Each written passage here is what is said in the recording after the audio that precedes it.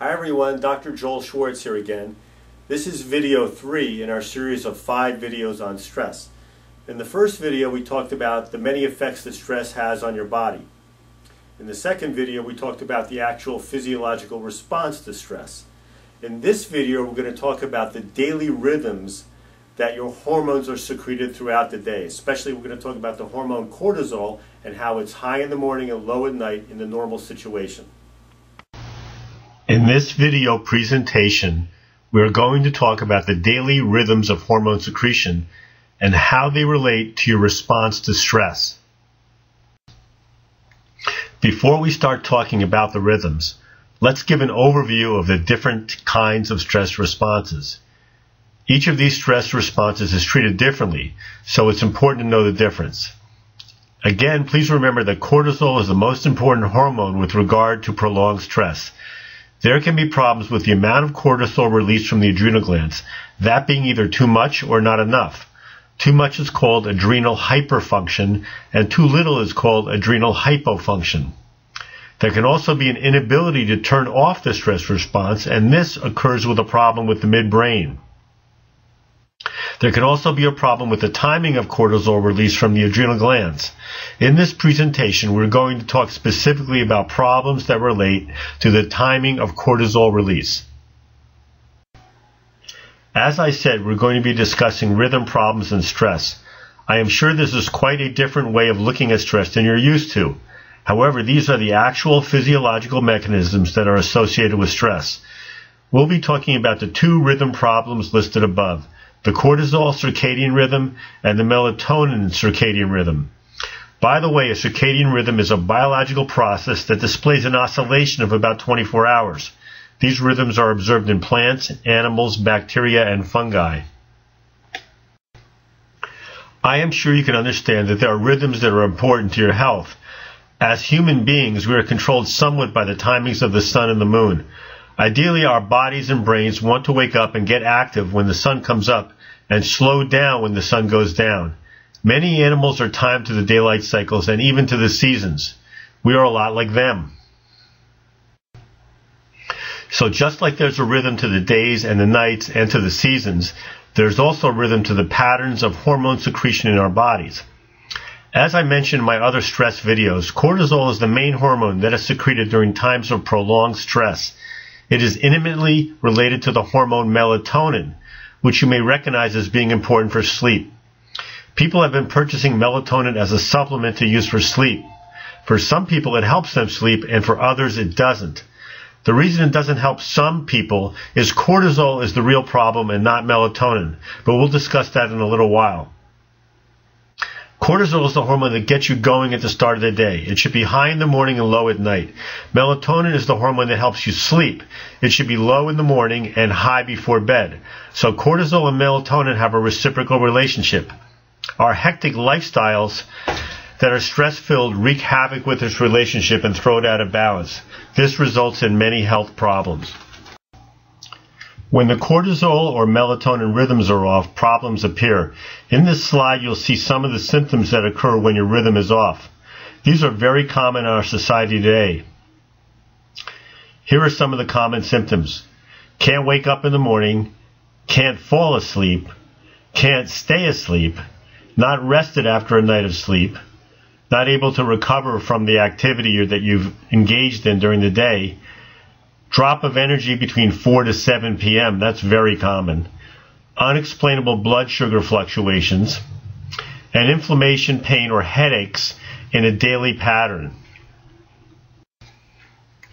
Melatonin is the immune enhancing hormone and cortisol is the anti-inflammatory hormone. They both push and pull against each other. The symptoms you see in this slide can be the result of a problem with melatonin, but it can also be the result from too much cortisol. I'll give you a few seconds to read the list.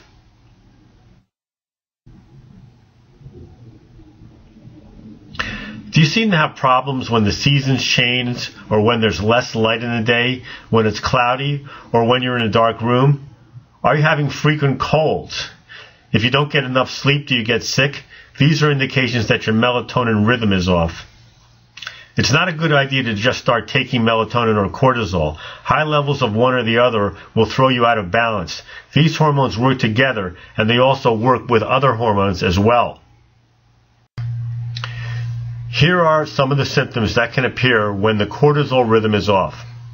Notice that it can be low in the morning. Cortisol can also drop quickly during the day or it can be too high at night. There are other possibilities as well. It can be too high in the morning. I'll give you a few seconds to look at some of the symptoms that occur during each one of these times during the day.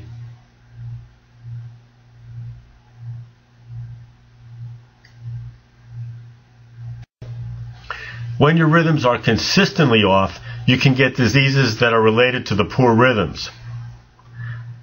Examples include cardiovascular disease, diabetes, and weight gain, mood disturbances like depression and anxiety, reduced libido, migraine headaches, autoimmune diseases, intestinal motility disorders like irritable bowel syndromes, problems with your mucosal defense systems, that's the lining of your gut, sleep problems, and frequent infections. Now let's talk a little bit about diagnosing rhythm problems. Pictured above is the results of an adrenal stress index. This is a saliva test which measures cortisol throughout your day. We use this test to help diagnose problems with the cortisol circadian rhythm. As you can see in the above graph, cortisol is highest at 8 a.m., then it gradually drops down throughout the day until it is at its lowest at midnight. This is a very healthy cortisol rhythm. Although melatonin is not graphed here, understand that it would be very high at midnight and decreasing until morning. When I analyze the results of this test, I make sure that each reading falls within the blue area on the graph. Also important is the overall slope of the curve. If the slope of the curve is off, your results are abnormal even if each of the readings are within the blue area. This is another adrenal stress index. This is a profile with too high a cortisol level in the morning and throughout the day as well. This individual didn't get any rest from sleep. Also, the spike at 4 p.m. indicates a blood sugar problem where cortisol is trying to elevate low blood sugar. This is characteristic of somebody who feels very tired around 4 p.m. or a couple hours after lunch.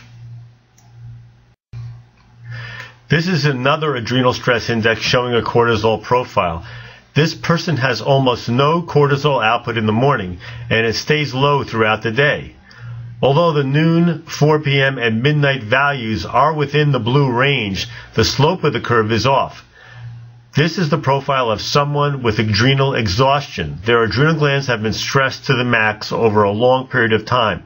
They'll have a very hard time getting up in the morning and will be exhausted throughout most of the day. Treatment for rhythm problems depends upon the results of the test. There is no cookie cutter approach. Generally speaking, however, the techniques we use are as follows. First and foremost, we must get your blood sugar under good control. If you are missing meals, eating late at night, or eating the wrong foods, it will be very difficult to get your stress under control. Besides the diet, we also use herbs and nutrients to regulate your blood sugar if they're necessary. We also use special herbs that will modulate your stress response. These are called adaptogens. We use a very thorough and comprehensive exercise program, and we also use relaxation techniques including yoga, meditation, and muscle relaxation. There's more detail on the treatment of stress and rhythm problems in our treatment of stress video. In summation, I'd like you to know that diagnosing rhythm problems with a saliva test helps target the treatment of stress. Besides the parameters I've shown you, there are other measurements that we get from the saliva test that are helpful in diagnosing your stress response. We aren't going to go into all of them at this time. In addition, there are other tests we use to diagnose your problems with stress. More about those in the next video, Diagnosing Stress Problems. Please watch our other videos on stress. If you watch all of them, you'll get a complete picture of what stress means to your health. You'll also find out how we diagnose stress and what we do to treat stress. It's a good idea to watch the videos in the order listed above. Thank you for watching. If you have any questions or would like to make an appointment, our contact information follows this slide.